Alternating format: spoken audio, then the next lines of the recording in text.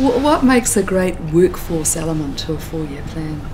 What are you, what, look, what are you looking for? What are you seeing when you see really good practice there?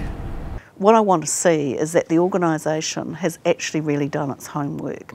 I don't want to see that laid out in the plan, but coming through in the plan that they know their workforce, they know their future needs, they know where they're weak, um, and they know what things they need to do. Uh, and I think um, and to address issues like diversity and so on, that they've got a, a good handle on that. And also, probably an understanding of how people will work in the future as well. So, mm.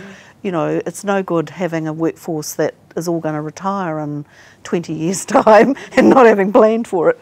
And also, is their workforce going to be working in offices or is it going to be mobile? You know, that kind of thing I'm looking for. And I think, uh, it, I mean, it's harder to get, get, this out of the plan, but that really clear understanding of the type of people that you have, yeah. the yeah. type of yeah. people that you are employing, mm -hmm. how they can be best enabled to work best, what environments, what workplace environment mm -hmm. will actually allow them to be the best they can be. Mm -hmm. If they're the best they can be, then the public service will get the most possible out of them.